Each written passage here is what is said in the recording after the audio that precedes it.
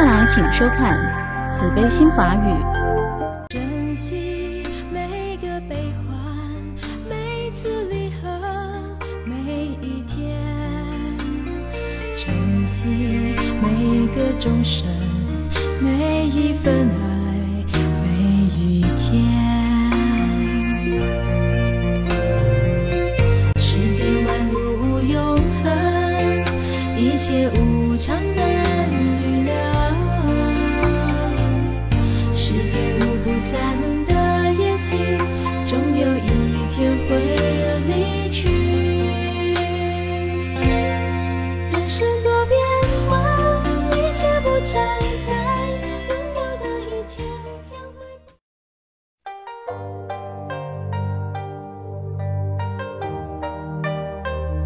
二四，心定下来的时候，清净的智慧会逐渐开展。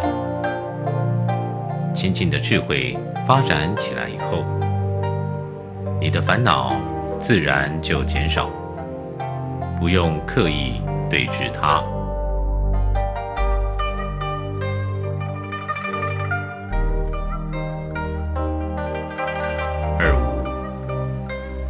好比打坐的时候，自己觉得是我什么杂念都没有了，这已经是有杂念；我什么妄想都没有了的妄念就已经升起来了。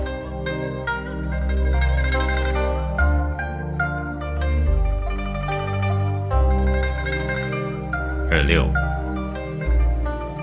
真正的自由，真正的敞开，真正的自在，是从内心开放起来的。内心真正开放了，才能圆满这一切功德。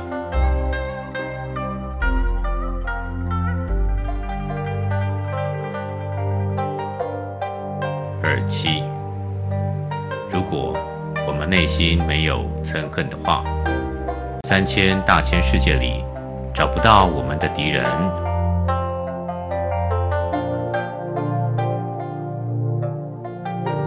如果内心有憎恨的话，就是天天坐在佛堂里听法，也一样会增长外面的敌人。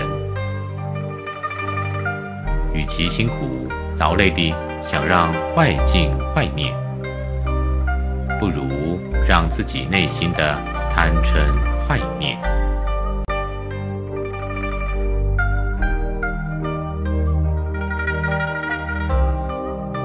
二八，没有证悟空性之前，一定要按次第好好的闻思，好好的实修。闻思不是偏路，但是你闻思以后不实修的话，你就已经走偏了。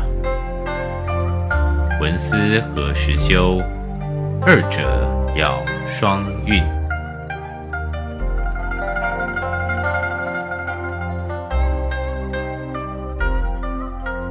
二九，会念会说不会修，这是叫佛学，不是叫修行。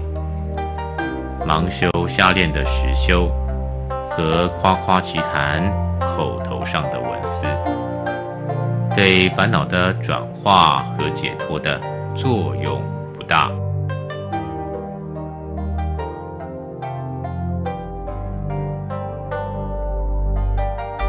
三十，要想了悟时不变的快乐，一定要从自己内心去实修。经过自己实践而证明的法道，这样对上师三宝升起的信心，才永远不会退转。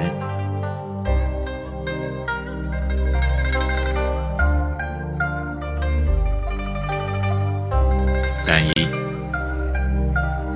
了解并现证空性的智慧。是彻底解脱轮回痛苦的唯一途径。要想证得空性的智慧，必须修持爱他甚己的菩提心。圆满的菩提心以外，没有其他的成就解脱。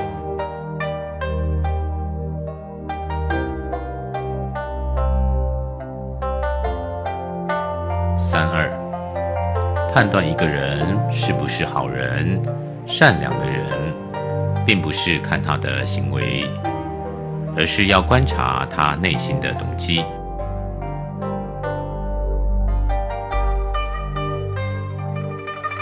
光做好人，光有好心，并不能带给我们解脱。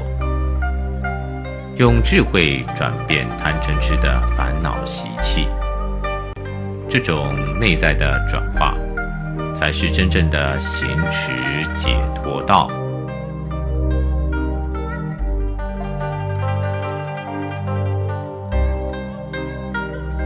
三三，世界上的一切麻烦，都是来自于分别心。只要内心有执着，就一定会痛苦。真正的出离轮回，是放下内心的妄想执着，而不是逃避外界。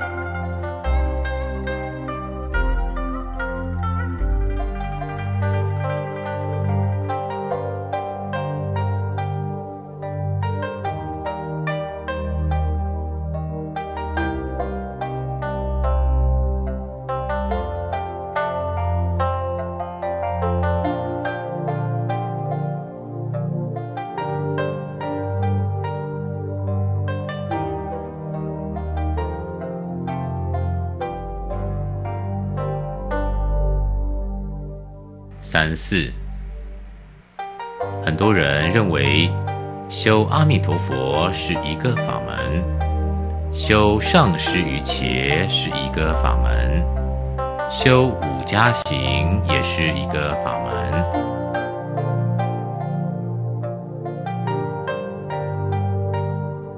这样分割开来以后，内心就会产生很多疑问。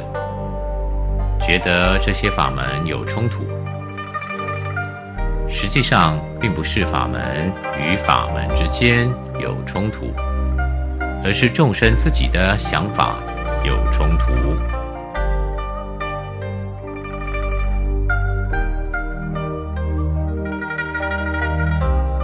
三五，我们的心就好像电脑。装在这台电脑里的软体，都是贪嗔痴这些烦恼，所以使用的时候都是烦恼习气的这些感受。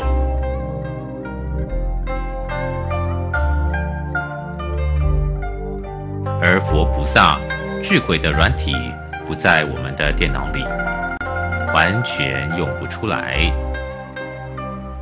所以。这需要一个安装的过程。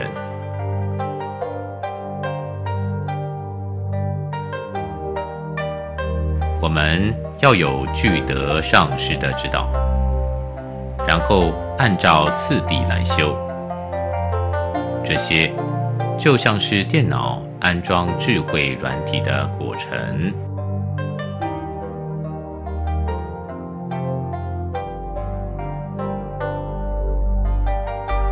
六，我们反复的心总是反反复复，今天很快乐，明天又痛苦了。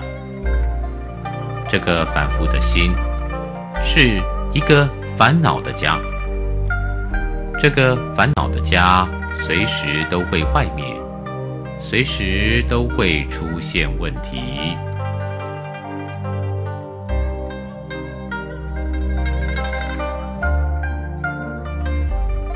三七，我们通过学习佛法，知道佛法的这个纯净的智慧，没有烦恼，没有执着，清净的家，这才是我们就近的家，不变的家，远离痛苦的家，远离烦恼的家，是我们本来清净的家。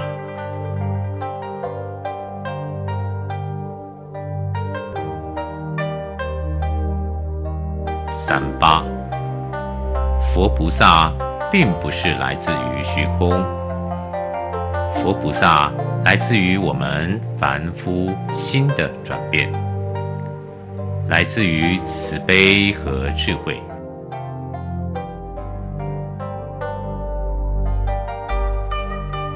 智慧越广大，心越清净，烦恼就越少，你对解脱也就越有把握。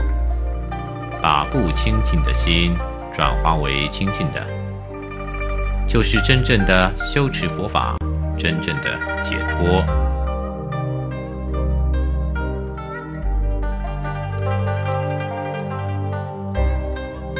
三九，修法不但要对上师有坚定的信心，更要对自己有信心。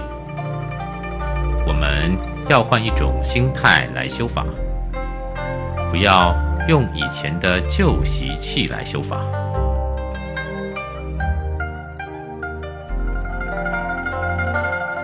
既然你已经知道了以前的心态修不出来，你就应该换一个方法试一试，这样才可以知道自己的感受。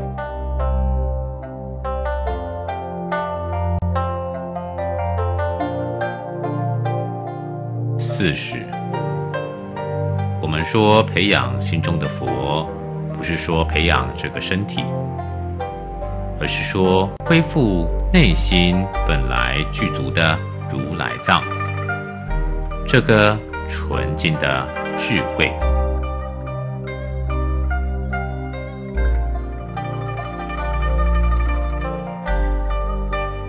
四一，执着心。带来轮回的痛苦，恶业带来恶的果报。如果你想远离痛苦，得到快乐，你就一定要远离这两种行为。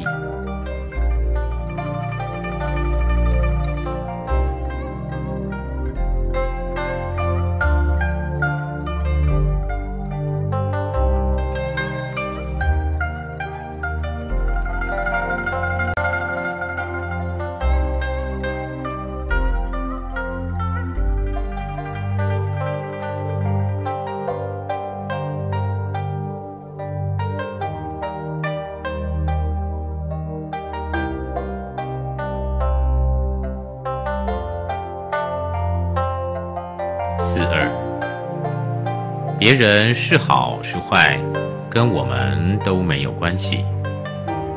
我们自己做好就对了。常常反省自己的过失，不要像个检察官一样，总是去检查别人的过失。一定要尊敬因果，相信业报。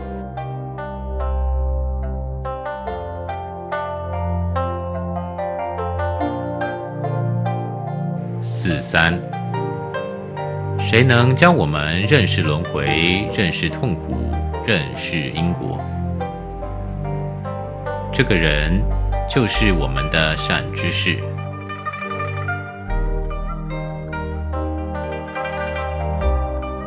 谁能引导我们认识自信、认识解脱、认识涅槃？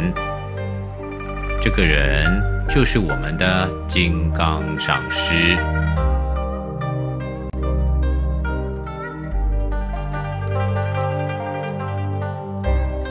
四四，口头上佛法讲的再好，自己的烦恼习气出来的时候对治不上，都是属他人之宝。对自己修行丝毫没有帮助。